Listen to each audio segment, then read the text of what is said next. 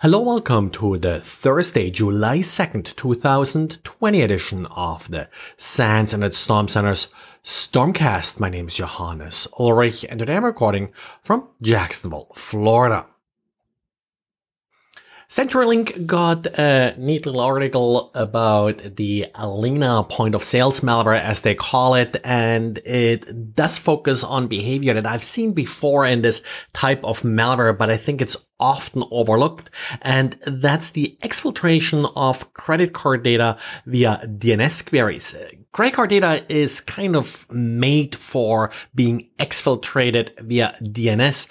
All you have to do is take the track data, create a host name, and then look up that host name. And of course, using a domain that the attacker owns. So the attacker will be able to log this DNS query. In my opinion, there are kind of three different things that you can do to detect behavior like this. First of all, just the sheer volume of DNS queries may give this away. Also, the length of the DNS query. And then probably the most important part here.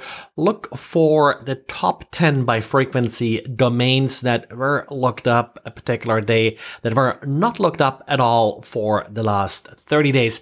That report usually tends uh, to be hugely productive when it comes to find various DNS based command and control channels.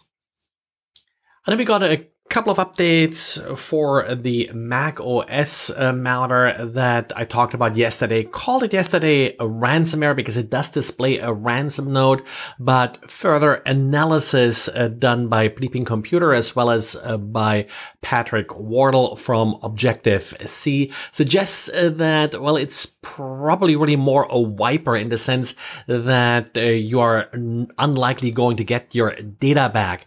Part of the reason that they're believing this is that the Bitcoin address for the ransom is static.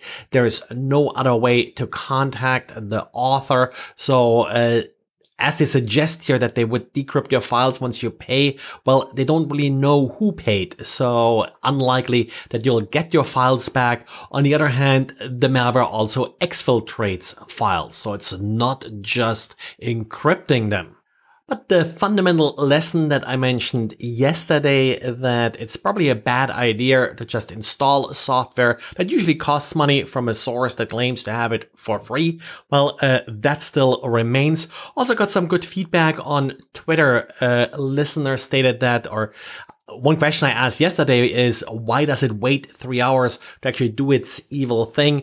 And one suggestion on Twitter here was that, well, uh, probably the attacker doesn't want you to link the fact of installing that software to the ransomware. Also, Patrick Wardle on his website has a couple of interesting tools uh, that are free that you can install that will essentially warn you if you do have software that all of a sudden starts encrypting a large number of files.